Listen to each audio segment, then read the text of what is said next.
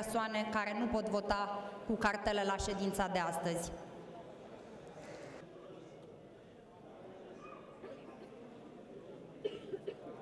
Ce minute. O invit pe doamna senator Alina Gorghiu să ia cuvântul.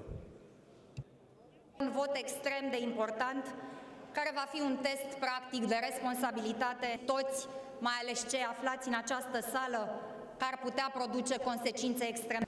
Obiectivul nostru este să restabilim încrederea partenerilor noștri strategici în România și în Guvernul României. Obiectivul nostru este să refacem încrederea cetățenilor în guvern și în capacitatea guvernului de a guverna în interesul public.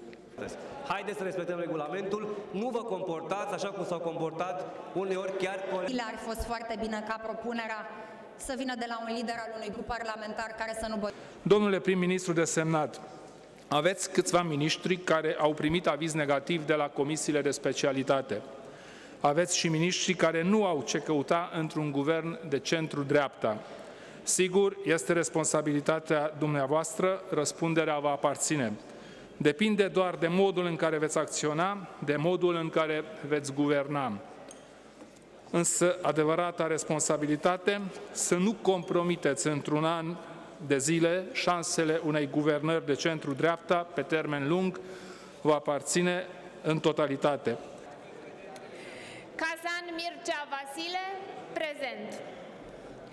Kazanciuc Ro... Absent. Absent. Bădulescu Dorin Valeriu, prezent. Coliban Alen, prezent. Corlățean Titus.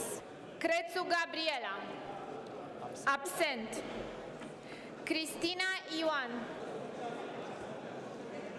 absent. Absent.